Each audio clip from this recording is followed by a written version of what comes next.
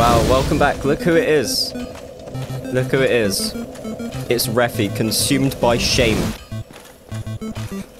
Destroyed, unmade by his hubris. Running away from Sif. First of all, this elevator needs looking at. We've got actually a lot of like loose ends to tie up before we uh, do the next story thing. So I thought it would be quite good um, to do like a few loose ends first. Oh look, look who it is. It's fucking Star Trek, dude.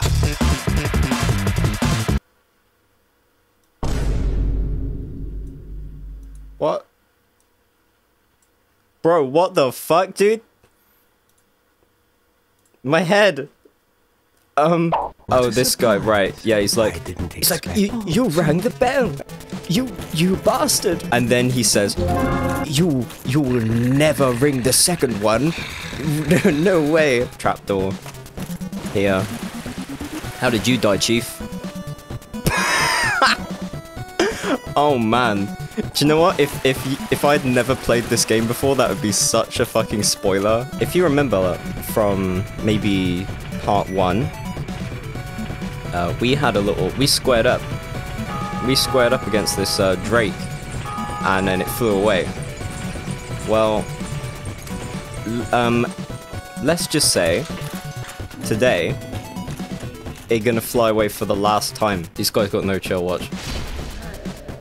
Yeah, what about your buddy as well? Yeah, well, yeah, right, okay, dude, what did you think that shield was gonna do for you? oh my god, humiliated. Here he comes. Can you see him? Uh-oh. Get ready.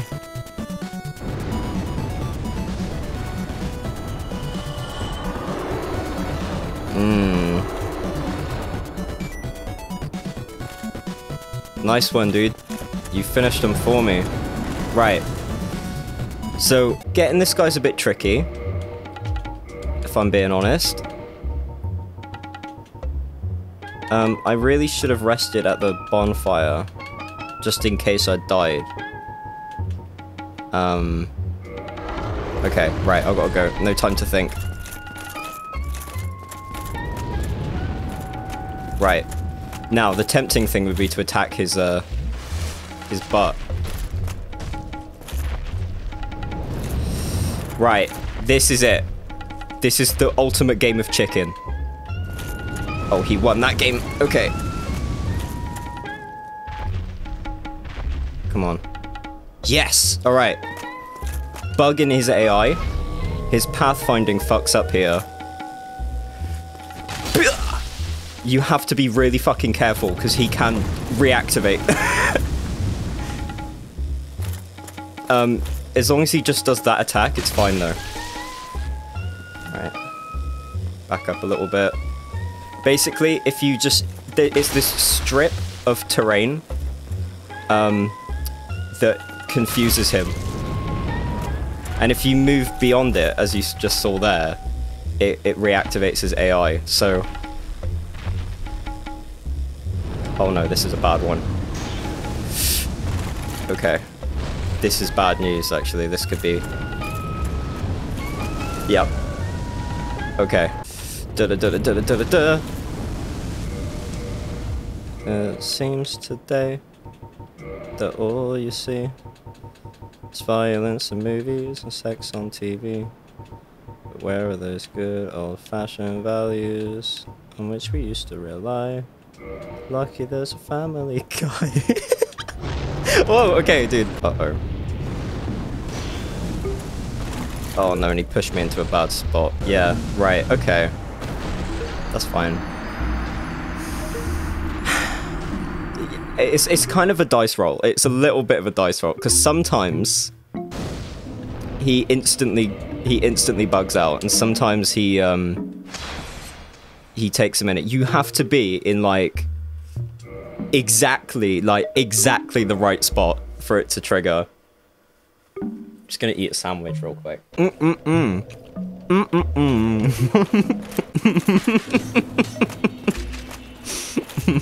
mm. Sorry. That noise I made, it was making me think of um Sucks to Be You by Prozzäk. Mm-mm-mm. Ba-da-ba-da-ba. Mm-mm-mm. I love that song so much.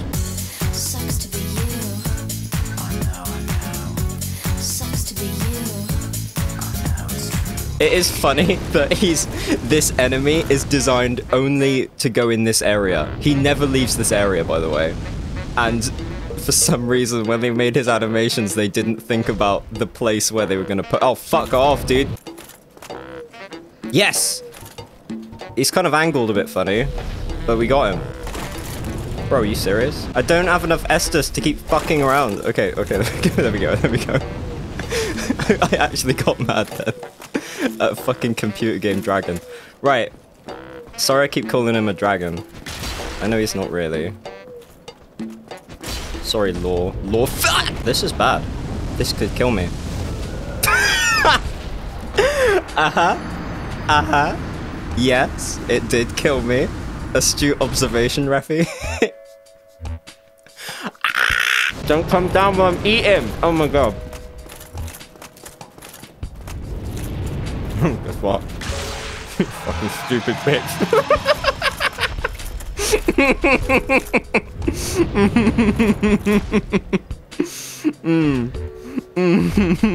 Step back a little bit. Oh, fuck me. Square up, square up. Or not. Or I could just not square up. This guy is like, it is like playing with the chicken world champion. the ultimate, the deadliest game. Fuck off, dude. yes. Blah. Blah! What the fuck, dude? Okay, thank you. Your little tantrum's over. Oh, you're a bitch!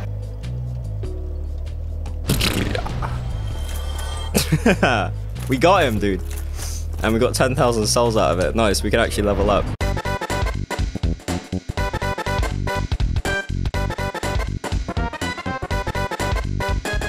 But there's like a theory. Um, there's a theory that Griggs is actually a hitman sent to kill an NPC we meet later. Um, and I really like that theory, so I always go with it. Um, basically, um, there's another person from the Dragon School here who was a teacher called Big Hat Logan. That's actually his name. And um, Big Hat Logan um, seems to have fled from Vinheim um, to pursue this uh, this research he's been wanting to do for a long time, and it's into um, this lost sorcery, basically.